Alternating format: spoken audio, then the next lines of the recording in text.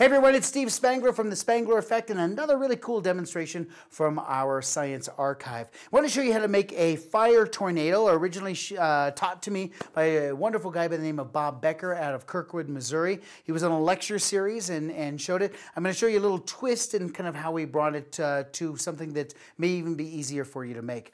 The first question was this, was what would happen if you spin fire? So the little setup that I have here is a crucible on this board and there is um, uh, there are these little pieces of sponge that I have soaked in lighter fluid. So a little bit of lighter fluid on those. And uh, I like to use the lighter fluid. I know there's an inclination if you're a demonstrator to want to use um, ethanol and color it and whatever else, and that's fine, but it really is very effective uh, this way, and that fire kind of uh, uh works its way up, and I think you'll like it. So try it with the lighter fluid. This Lazy Susan, right? So it's our little, and it's been through the war and back. There's no question about it. You can see the uh, fire and burn marks and everything. All right, so here we go. As always, if you're doing anything with fire, take all this to the proper safety precautions. Fire extinguisher close by. The question was, what would happen if you spun the fire? So when we light it like this and we spin, Nothing very exciting happens at all. It just spins. Now we know that hot air rises, and so that flame, of course, uh, uh, dances upward. But uh, we wanted to simulate what happens when the air whips through, for example, in a forest fire, the air whips through this, uh, these trees. And as it whips through the trees, you've got some angular momentum going on. And so as it starts to work its way through, what happens to that air that surrounds the fire, and how does it affect the fire? So this is the uh, the tubing or the little screen that I wanted to show you that was originally uh, shown to me. This is just replacement wire or replacement screen found at the hardware store. You can kind of see that it's all been seamed together here as well. All right, so this is uh, a little uh, top heavy, kind of harder to spin. That's where we had rods that came up this way, and you can kind of see why we were looking for something else to be able to do with it, but I wanted to show you at least the original. So this sits here like this, and so now as you spin, watch what happens. As you spin, it now, ah, it's great. It kind of uh, picks up the, uh, the fire starts to dance a little bit, and you start to get this fire tornado. Oh, that's pretty good. That's it is looking pretty good. And uh, on a new segment that I did years ago, it's where we took and actually put a balloon filled with hydrogen up at the very top with a, a longer column to see whether or not the fire, the flame could dance up and eventually catch that on fire. And it was very, very cool. All right, so uh, a, a, great setup and kudos to Bob Becker for a wonderful demonstration kind of showing how a fire tornado works.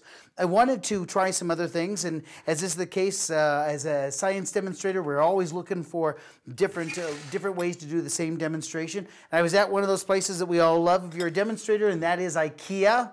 So take a look at this. How could you beat a Lazy Susan for $7, right? So here is this wonderfully smooth turntable. I've seen people do this with phonographs and I've seen them doing it with these great motor contraptions. This was just easy to pack and to travel with when I was doing professional development for teachers. So here is our spin, got it? And this is simply a, a trash can from Ikea as well. It's got that mesh material and so that's perfect, a lot sturdier and I can carry other things in it as well. So this just has to be positioned in the middle so that it doesn't kind of wobble. That's pretty good, good. And I'm using a Petri dish or something to be able to extinguish the fire.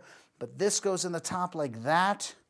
And uh, see if we can just look at it. So again, here's what's happening. That hot air rises, but that spinning piece in the screen is able to catch those molecules and start to spin them. And so it's really that centripetal force, or as you say, the angular momentum of those molecules going around and around, coupled with the rising air that gives you that kind of tornado feel and tornado look. And why uh, uh, fires can dance from treetop to treetop and spread when the winds whip through and how dangerous that can be with firefighters.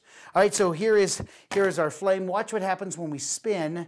This makes it really, really, really, ah, and that tornado is just beautiful, isn't it? If you take a look in the very center there, you get that vortex in the very middle. That fire vortex is just gorgeous.